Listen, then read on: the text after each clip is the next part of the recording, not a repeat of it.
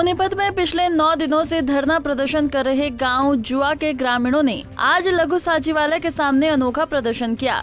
ग्रामीणों ने चारपाई पर सरकार और प्रशासन का पुतला रख शव यात्रा निकाली और इस दौरान ढोल बाजे भी बजाए। दरअसल गाँव जुआ के ग्रामीणों को हुड्डा सरकार के दौरान मिले सौ सौ गज के प्लॉटों की रजिस्ट्री होने के बाद भी कब्जा नहीं मिल पाया है। ऐसे में ग्रामीण सरकार और प्रशासन से ज़मीन पर कब्जा दिलाने की मांग कर रहे हैं। लेकिन सरकार और प्रशासन की नजरअंदाजी के चलते आज ग्रामीणों का गुस्सा फूट पड़ा, जिसके बाद उन्होंने लघु सचिवालय के बाहर ये अनोखा प्रदर्शन करते हुए अपनी नाराज़गी जताई। ये गरीब परिवारों के हक की लड़ाई है और नौ दिन से गरीब परिवार अपना काम धंधा छोड़कर दिहाड़ी मजदूरी छोड़कर लगातार नंबर वाइज जिला उपायुक्त कार्यालय के सामने धरने पर बैठे हुए हैं।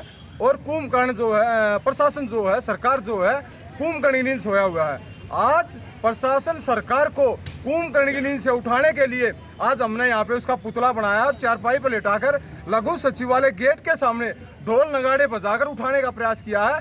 ये गरीब परिवारों के हक की लड़ाई है, न्याय की लड़ाई है इनके साथ अन्याय ना हो। लगातार चौदह वर्षों से ग्रामीण अपना हक पाने के लिए संघर्ष है, लेकिन सरकार और प्रशासन जानबूझकर इनके साथ विश्वासघात कर रही है, इनका हक मारने का प्रयास कर रही है, लेकिन ये लड़ाई आर पार की लड़ाई है और हम अपना हक पाने के लिए आखिरी सांस तक लड़ाई लड़ते रहेंगे और सरकार से, प्रशासन से हमारी मांग है जल्द से जल्द गरीब परिवारों के साथ न्याय करे।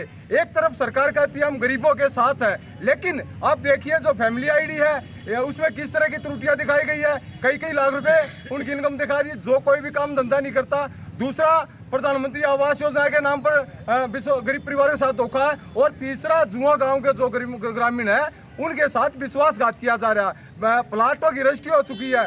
कब्जा कार्रवाई करनी है, लेकिन कब्जा कार्रवाई करने में पता नहीं क्या कारण है सरकार व प्रशासन कुंभकर्ण नींद सो रहा है। आज यही प्रयास हमारा सरकार को जगाने के लिए, प्रशासन को जगाने के लिए हम ढोल नगाड़े के साथ यहाँ पर पहुँचे हैं। ग्रामीणों का कहना है कि सरकार और प्रशासन दावे करता है कि वो गरीब लोगों के साथ है और उनके भविष्य के लिए अच्छे कार्य कर रहे हैं। लेकिन यहाँ गरीबों का हक दबाया जा रहा है और प्रशासन कुंभकर्ण की नींद सो रहा है। ग्रामीणों ने इस मौके पर ये भी कहा कि आज का ये अनोखा प्रदर्शन प्रशासन को नींद से जगाने के लिए किया गया है। लेकिन जब तक उनकी मांगों को पूरा नहीं किया जाएगा, उनका ये संघर्ष लगातार चलता रहेगा।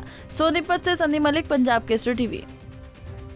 हमसे जुड़े रहने के लिए हमारे YouTube चैनल को सब्सक्राइब करें और नई वीडियो की नोटिफिकेशन के लिए बेल आइकॉन को दबाएँ।